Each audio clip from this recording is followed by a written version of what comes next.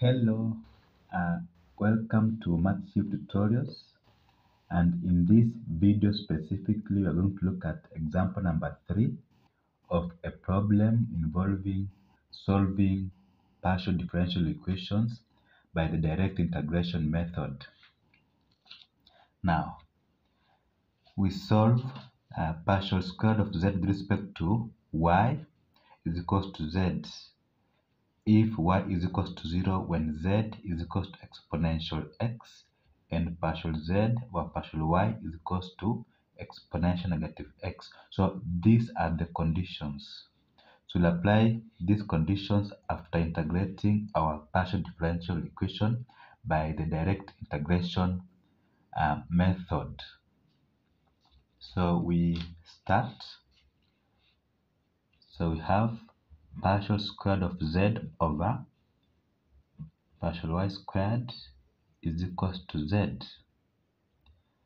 So uh, remember we can recall that d over partial y is equals to operator d. So that means that means operator d squared of z is equals to z. So operator d squared of z minus z is equals to 0. So we factor out the common z. So z d squared minus 1 is equals to 0. So these are auxiliary equation. So z is equals to 0 and of course d squared minus 1 is equals to 0. So we let d to be equal to m or to be m. So m squared minus 1 is equal to 0. So m is equal to 1 or square root of 1. That means m is equal to 1 or it can be negative 1. So these are our two roots. Now, since this is a partial differential equation,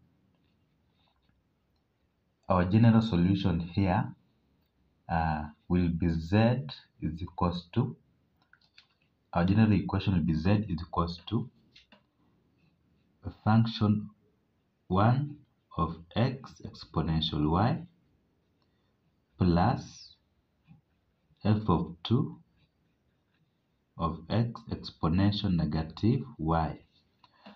So y because our first root is 1, then negative y because our second root is negative 1. So this is our solution. Now, we apply the conditions. We've been given y is equals to 0 when z is equals to exponential x. So we start with this one first.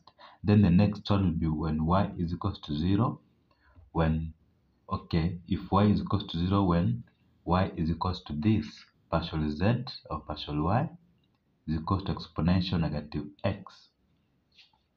Now, when there is z, we put exponential x, we'll have exponential x is equals to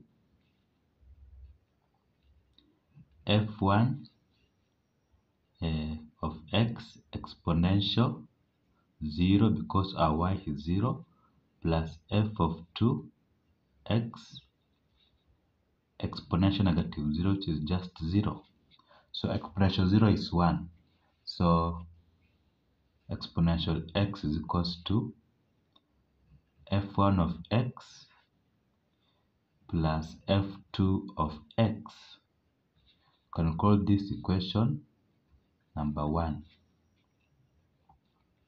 Now,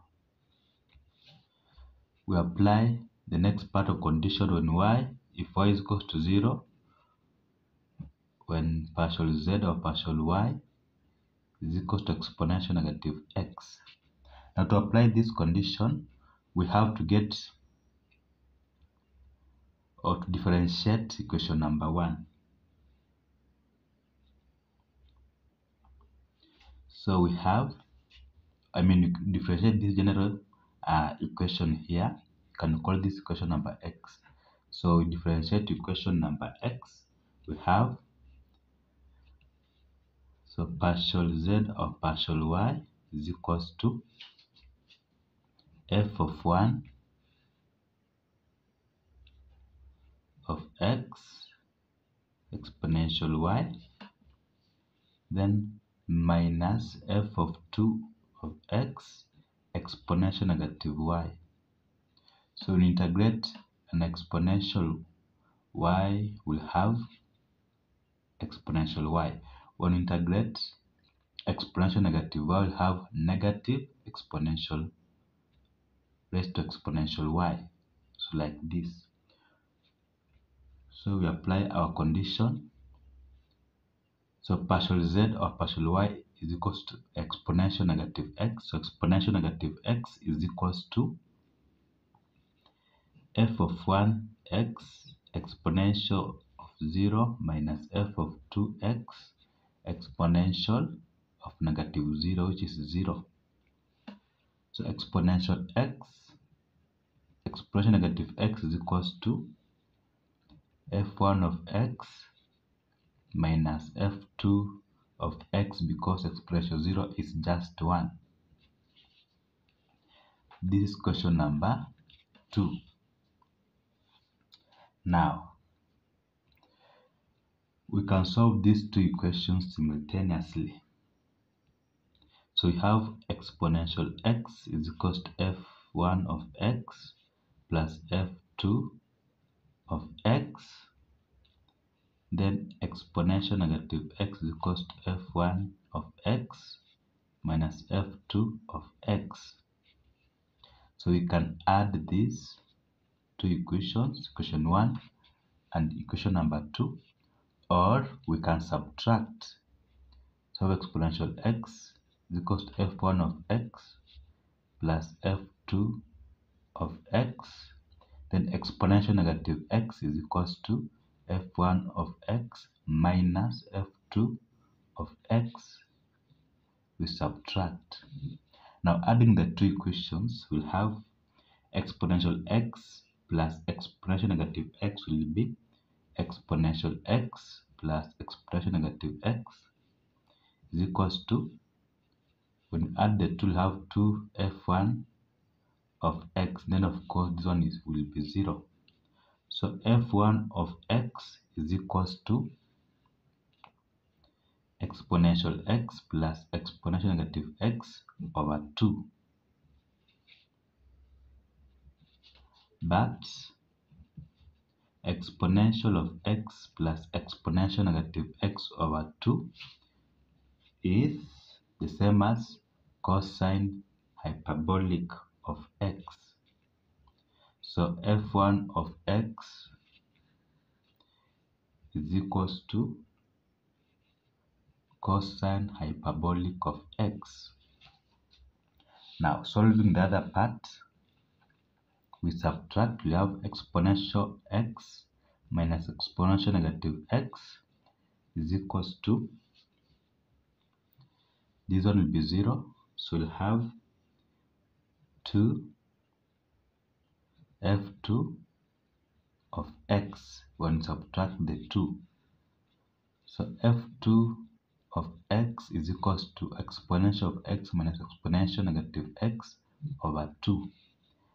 But exponential of x minus exponential negative x over 2 is equals to sine hyperbolic of x. So f of 2 of x is equals to sine hyperbolic of x. Now, our solution will be z is equals to now considering our equation x here, we replace what is f of f1 of x replace with cos hyperbolic of x and where there is f2 of x we replace sine hyperbolic of x. So have z is equals to cos hyperbolic of x uh, exponential y plus f of 2 sine hyperbolic of x exponential negative y